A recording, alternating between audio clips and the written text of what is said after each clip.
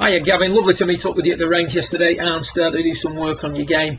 If we take a quick look at where we were to start off with, we can see that we're at setup, we're quite open.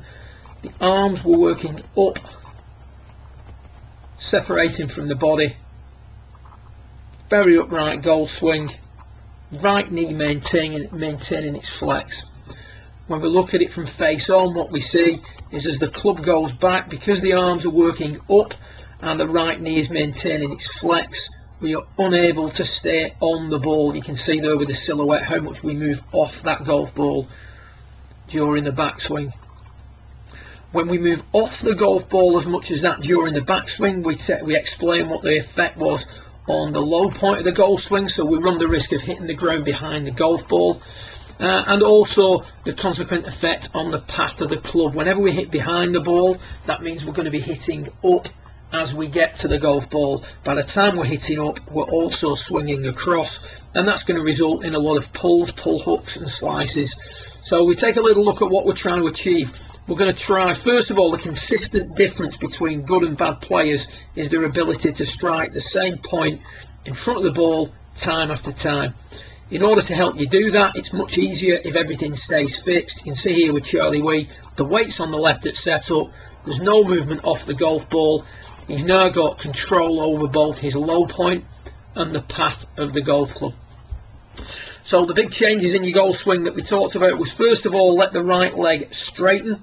The goal is to hit the ground in front of the golf ball. So that's the over the overlying fact, the, the overlying piece that we're trying to achieve time after time. We're going to let the right leg straighten and we're going to work the arms in more.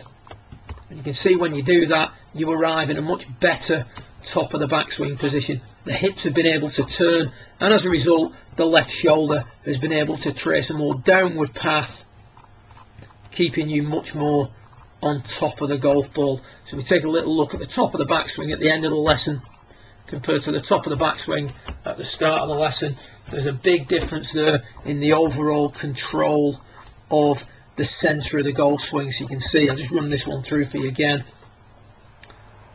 This is thinking in terms of weight forward, left shoulder down, arms coming in and allowing the trail leg to straighten. You can see there that your hips have turned much more if we look at the, at the side bend or the extension in the hips. See how the hips now are on a tilted angle rather than a level angle. The centre of the golf swing also, the centre of the shoulder turn is much more on top of the golf ball as opposed to over towards the right instep.